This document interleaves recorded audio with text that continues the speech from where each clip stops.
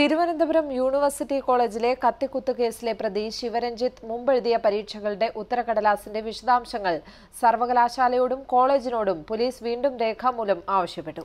ക്യാമ്പസിൽ നിന്നും പോലീസിനെ പിൻവലിച്ചതിന് ശേഷമുള്ള ആദ്യ അധ്യയന ദിവസമാണ് ഇന്ന്. കോളേജ് ഗേറ്റിന് പുറത്ത് ഇന്നു മുതൽ പോലീസ് സുരക്ഷ കൂട്ടിയേക്കും.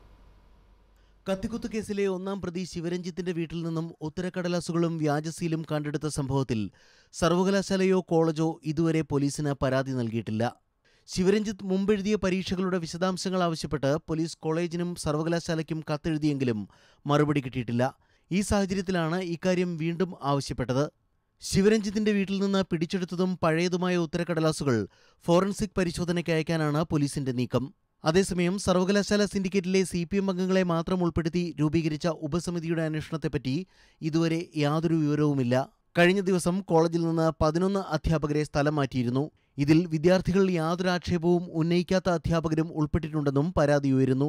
കത്തിക്കുത്ത് നടന്നതിന് പിന്നാലെ കോളേജ് വിദ്യാഭ്യാസ വകുപ്പ് ഡെപ്യൂട്ടി ഡയറക്ടർ വിളിച്ച യോഗത്തിൽ കോളേജിന്റെ ദയനീയ സ്ഥിതിയെക്കുറിച്ച് പരാതി പറഞ്ഞ രണ്ട് അധ്യാപകരെയും ബോധപൂർവം സ്ഥലം മാറ്റിയെന്നാണ് പരാതി. ഇതിനിടെ എസ് എഫ് ഐയുടെ സമ്മർദ്ദത്തെ തുടർന്ന് ക്യാമ്പസിനുള്ളിൽ സുരക്ഷയ്ക്കായി നിയോഗിച്ച പോലീസിനെ കഴിഞ്ഞ ദിവസം പിൻവലിച്ചിരുന്നു. പോലീസ് സുരക്ഷ പിൻവലിച്ചതിനു ശേഷമുള്ള ആദ്യ അധ്യയന ദിവസമാണ് ഇന്ന്. എങ്കിലും കോളേജ് ഗേറ്റിന് പുറത്ത് സുരക്ഷ ശക്തമാക്കാനാണ് പോലീസിന്റെ നീക്കം. ഏഷ്യനെറ്റ് ന്യൂസ് തിരുവനന്തപുരം.